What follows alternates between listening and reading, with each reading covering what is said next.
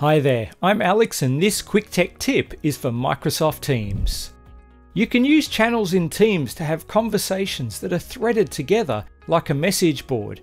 This is much easier than trying to manage things in chat, which is a continual conversation.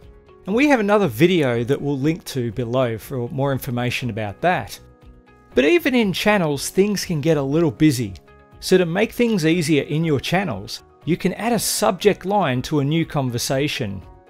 Let's jump into the right channel for this conversation in our team and click on New Conversation. Before you start writing, click on this format icon on the bottom left. That expands the new conversation text box so that you can format it. But you'll also notice that it adds a subject line.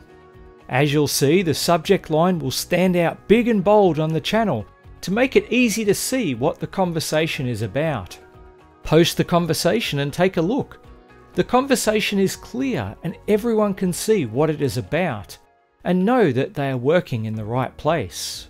By the way, there is also a keyboard shortcut to open the format options, which is Control Shift and X.